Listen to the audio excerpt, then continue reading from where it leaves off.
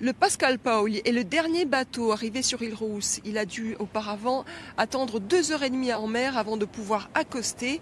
Il a fallu décharger et embarquer les passagers et les remorques de deux navires de la Corsica Ferries. Résultat, ce matin, une file de camions et de voitures s'étendait du port d'île Rousse jusqu'au centre-ville.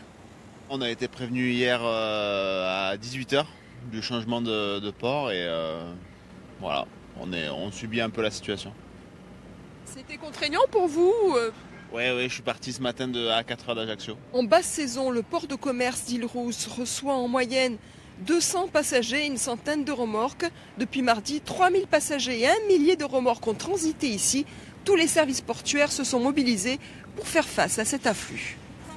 Ah, vous savez que le port d'Île-Rousse ne dispose que de postes à quai. Nous n'avons pas trop d'espace pour euh, stocker euh, aujourd'hui toutes les marchandises et les véhicules.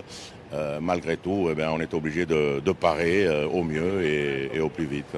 Ici, la fin de la grève est accueillie avec soulagement tout en anticipant de potentiels rebondissements.